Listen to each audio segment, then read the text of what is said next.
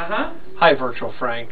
This is a common problem that I don't have, other people do. How do I clean out my temporary internet files or my my web history because you know I might be trying to hide you know Christmas presents Uh-huh. and stuff for my wife. How do I do that?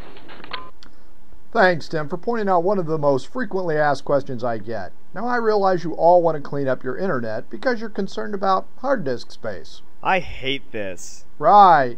Anyway, it's easier than you think, so let's get to it. First, right click on the big E on your desktop and choose Properties.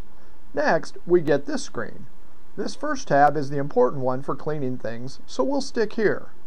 The next three things can actually be done in any order, but I say delete the cookies first. Cookies are small text files placed by some websites to remember preferences, but are sometimes used to spy on you. Next, let's delete files. These would be the small pictures and banners left from websites visited. You don't download the CNN banner every time you visit. Your computer keeps a copy of the banner so the page loads faster. Last but not least, let's clear out your history. No one really cares about the sites you visit, So sure. or maybe not. Hey, that's all for cleaning out your internet. I think you'll find this pretty easy after you do it a couple of times. Remember, I hope you found this useful, and if you have an idea for a virtual Frank, give me a shout. I'm there for you. And of course, thanks Tim for having the guts to ask that question.